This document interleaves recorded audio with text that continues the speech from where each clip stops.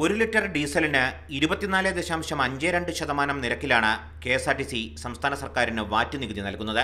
ഡീസലിനു മേലുള്ള സെസും ഒരു ശതമാനം അധിക നികുതിയും കൂടി വരുമ്പോൾ നികുതി നിരക്ക് ഇരുപത്തിയഞ്ച് ദശാംശം ഏഴ് അഞ്ച് ശതമാനമാകും. നാലര ലക്ഷം litre ഡീസലാണ് K S R T C ഒരു ദിവസം വാങ്ങുന്നത്. നികുതി ഇനത്തിൽ ഒരു ദിവസം സർക്കാരിന് അൻപത്തിയേഴ് ലക്ഷം രൂപ നൽകണം. ഡീസലിന് മേലുള്ള നികുതി ഇനത്തിൽ മാത്രം ഒരു മാസം പതിനെട്ട് കോടി രൂപ K S R T C സർക്കാരിന് നൽകുന്നുണ്ട്. സേവന മേഖല എന്ന നിലയിൽ കെ എസ് ഇ ബിക്കും വാട്ടർ അതോറിറ്റിക്കും നികുതി ഇളവ് നൽകിയിട്ടുണ്ട്.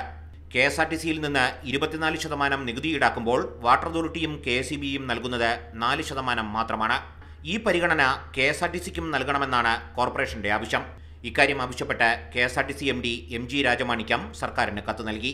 തൊട്ടടുത്ത് തമിഴ്നാട്ടിൽ സംസ്ഥാന സർക്കാർ ട്രാൻസ്പോർട്ട് കോർപ്പറേഷന് ഡീസൽ സബ്സിഡി നൽകുമ്പോൾ കേരളം നികുതി ഇനത്തിൽ വൻതുക കെ എസ് ആർ ടി സിയിൽ നിന്ന് ഊറ്റിയെടുക്കുന്നു.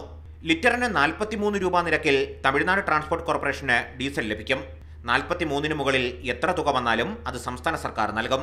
കേരളവും ഈ മാതൃക പിന്തുടരണമെന്നാണ് കെ എസ് ആർ ടി സിയുടെ ആവശ്യം. രക്ഷാമാർഗങ്ങൾ ഒന്നും സ്വീകരിക്കാതെ സർക്കാർ കെ എസ് ആർ ടി സിയെ കറവപ്പശുവാക്കിയാൽ വണ്ടി അധിക നാൾ ഓടില്ല. C G Kadakkal Mathrubhumi news Thiruvananthapuram.